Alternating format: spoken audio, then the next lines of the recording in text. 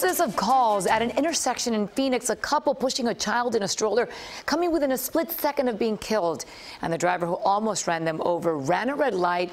They were saved because another driver coming there right now who had the right of way blocked the impact and took the hit instead. That driver was not seriously hurt. Police say the man who ran the light later tried to attack a Good Samaritan and was impaired. He is facing several charges this morning.